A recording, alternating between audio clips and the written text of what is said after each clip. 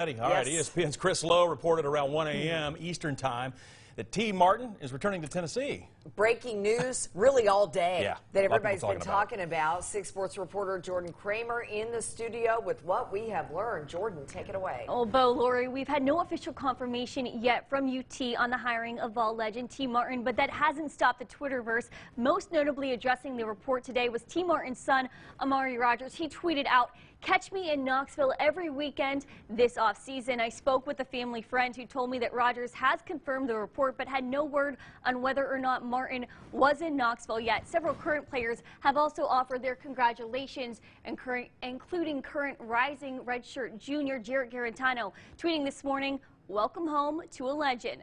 According to the ESPN report, Martin will join the Vols offensive staff. His contract details and official title are still being finalized.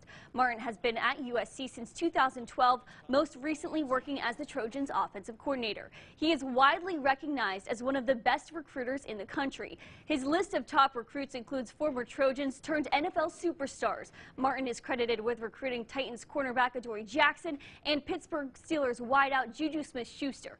His approach to recruiting, well, it's rather simple. You know, working hard and having a great relationship with your players and do a great job on the road recruiting.